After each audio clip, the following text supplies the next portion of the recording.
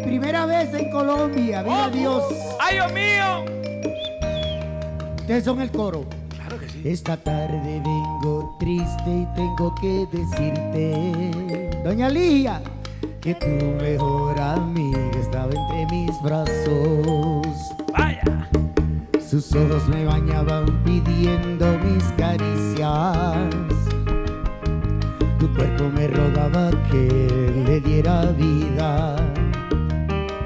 Comí de fruto prohibido, dejando el vestido colgado de nuestra inconsciencia. Pampara, durante un minuto mi mente lloraba tu ausencia. No lo volveré a hacer más. No lo volveré a hacer más. Pues mi alma volaba a tu lado y mis ojos decían cansados que eras tú, que eras tú, que siempre serás la vida es así, no la he inventado yo. Siempre que me ha mirado a los ojos y cogido por mano, yo me he dejado llevar por mi cuerpo y me he comportado como un ser humano. Vamos. cantar por la mañana. Lo siento mucho, la vida es así, no la he inventado yo.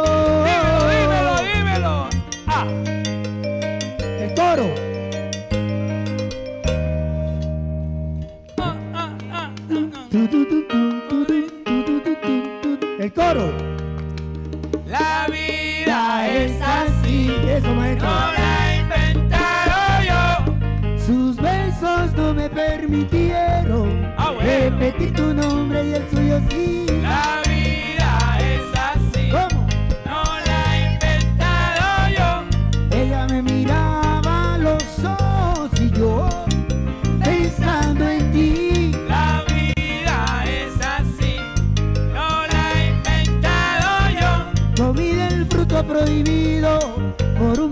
de amor.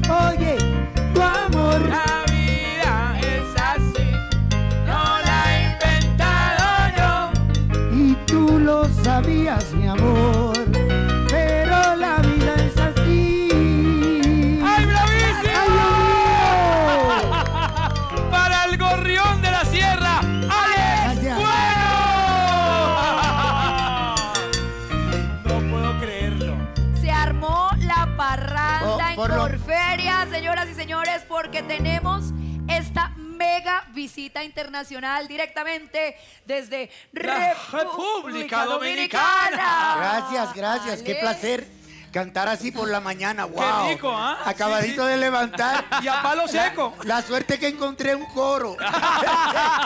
Un poco desafinado Qué bendición y estar un poco aquí. Pero- Alex, yo quiero saber una cosa, ¿por qué 40 años de vida Wow, artística amándote tanto como te amamos en este país con tu música Pues sí. que lleva generaciones poniéndonos alegres y no habías venido?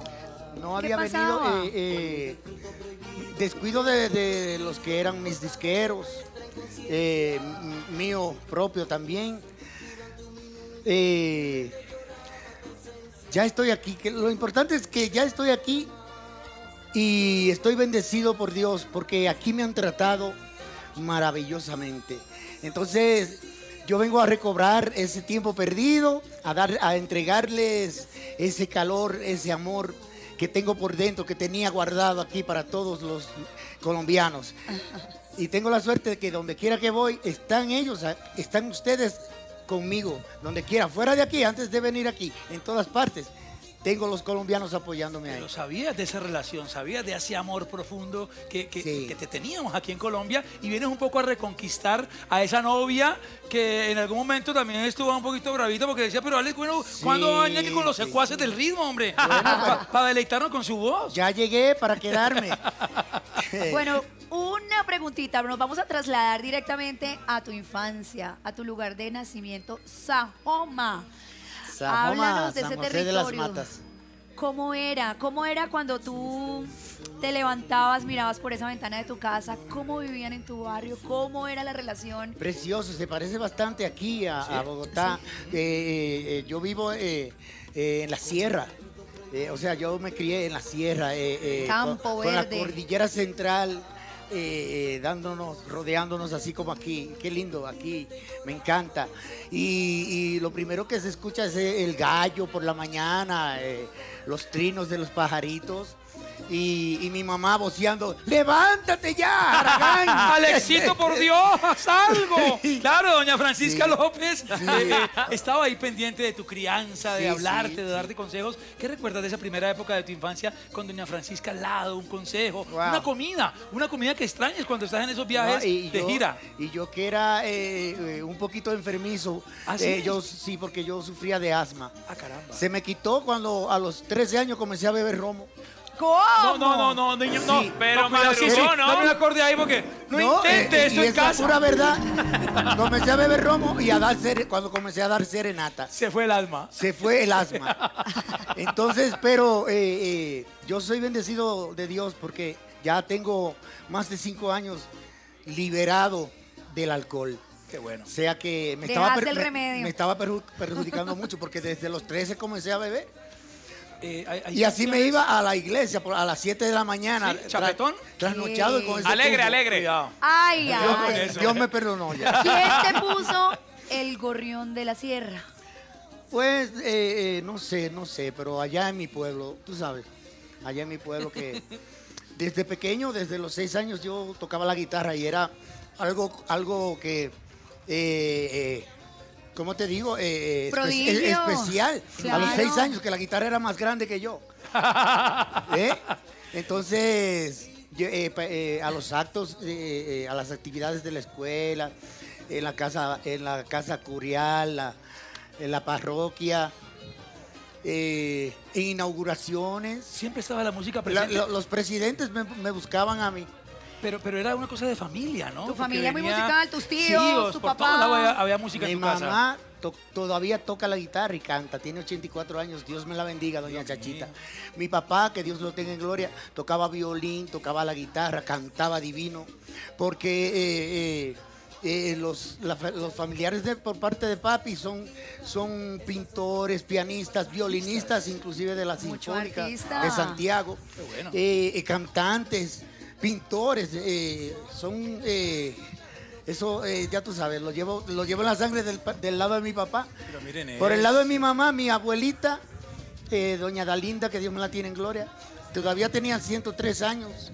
Ella murió de 103. Todavía a los 100 y pico, ella cogía la guitarra y tarareaba y te tocaba el himno nacional. Úpale. Todavía con todos los temblores así, o sea que yo vivo Cuidado. por los dos lados. Bueno, yo quiero en este momento sacarte jugo ya que estás de visita y esta canción que me encanta, que me la han No, dedicado mire, tanto. Sí, a ustedes la han dedicado mucho. Yo con Ah. esta canción, debo confesarlo, me entregué, Manizales. ¿Qué? Sí, me entregué. Con esta ¿Usted canción me entregué. hace esas revelaciones? En 1985 con Alias La Coja. Hola. Alias La, La Coja me recuerda, ya no, era Coja. Y preguntan Coja. que si, que si en esos momentos donde el maestro le, le pegaba al roncito, lo vieron y le dijeron, "Hmm, qué carita más bonita la que tienes. Y esto ¿Eso dice así. Vamos. Así Dale, suena. bueno. Bueno, yo amo a Colombia. Vamos a hacerlo. Ja. Merengue con mongo, esto nunca eh, fue visto No, antes. no se apure. ¿Dónde está la tambora? ¿Listo? Es una mini tambora, eh, maestro. Y dice. Óyelo ahí. aquí. Sí, Ah, ¿con la pista? Entonces subámosle. sí. No, pero no podemos Necesito aquí. el coro ahí. Vamos a ver. ¿Qué cara más bonita tiene esa niña? ¿Qué cara más bonita a mí me va? ¿Qué cara más bonita yo quisiera enamorarla? ¿Qué cara más bonita no se deja enamorar? Cuando yo la veo a ella, siento en mi frío y calor.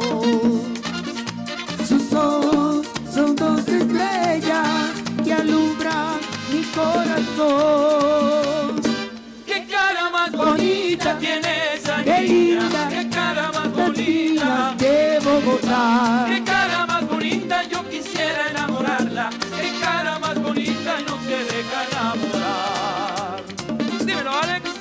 Ella no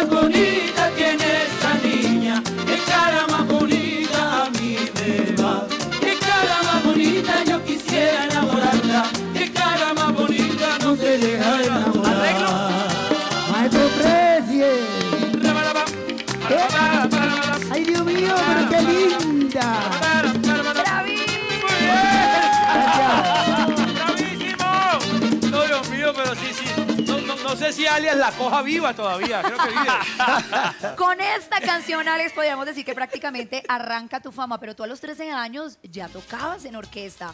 Ya sabías que era pararte en una tarima, excitar a un público y cautivar muchos tímpanos. Pero tú arrancas prácticamente a nivel profesional con Wilfrido Vargas. no, no, ¿Cómo no, no. llegas ¿Ah, a él? No, yo no, yo no canté con Wilfrido. Yo gané el, Ay, fe- cállate. el festival que hizo Wilfrido. La voz. eh, de la voz. Cuando, cuando salió Sandy Sa- Reyes, Ajá. eh, yo gané el primer lugar. eh, eh, eh, Rey Polanco ganó el segundo. eh, Pero era para reemplazar. eh, bu- buscando el sustituto de, de, ¿De de Sandy? Sandy.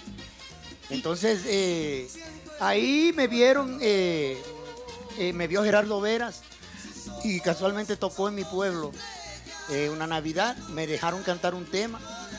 Burrito sabanero. Eh, sí, al ¿cómo lo sabes? Ah, investigativa. Y entonces me invitó, me fui con él para, duré seis meses con él. Ahí me vio entonces Fernandito Villalona por televisión y me mandó a buscar.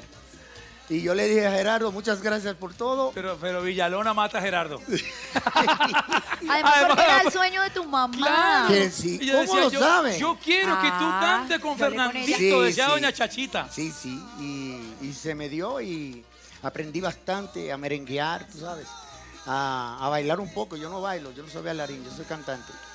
Pero me, me defendía, entonces duré tres años con Fernando y me independicé. Rancho aparte, decides estar como solista y llega esta canción, este exitazo, tú con tan solo 22 añitos ya disfrutando las mieles de la fama. Uy, Eras sí. inquieto, sagaz, extrovertido, te movías de un lado para otro. Sí. ¿Cómo sabe tanto? ¿Usted es psicóloga o qué? Eh. Una vidente. Pero de No. por Dios. O, era, o Lo, tomaba ron. busca- lo buscaban y no lo O encontraban. tomaba ¿Así? ron con el maestro. Diga la era verdad. inquieto, era inquieto y, y- y qué cara más bonita. eh, te trajo una fama internacional impresionante. ¿Cómo empezaste a manejarlo a esa edad tan joven? Eh, porque era un momento de mucha fama, de reconocimiento, mujeres, fiestas, la nocturna, el Amigos, ambiente. amigos. Amigos que ap- aparecían y desaparecían. Yo, eh, eh, pues yo tuve la suerte de, de que aún estoy vivo y, y tengo mi voz todavía, eh, gracias a Dios. Pero yo hice muchos desarreglos. hasta que apenas no hace tanto que, que maduré. Eh, eh, Hace poco. eh, bueno, yo tengo 55. El día 6 de septiembre, que voy para, con Dios por delante, voy para Chile, es el día de mi cumpleaños, de 56. No lo niego, no, soy feliz. Tengo mi- mis cuatro nietos y viene una en, en camino. Y mis cinco hijos, feliz de la vida. Ah, bueno. Mi esposa, mi esposa Sara, mami, te amo.